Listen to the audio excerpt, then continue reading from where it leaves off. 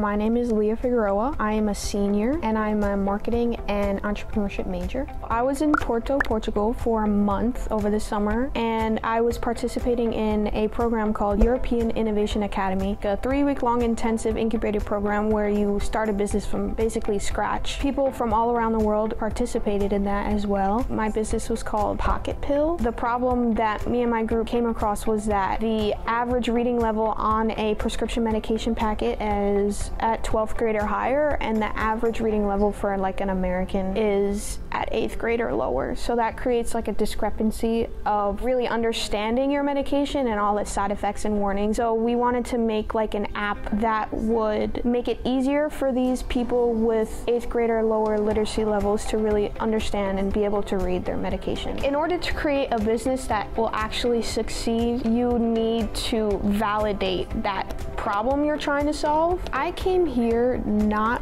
looking towards entrepreneurship and I was exposed just as like a fun thing to do and taking like the basic business courses and marketing courses I realized that I could do so much more with this and like make my own business.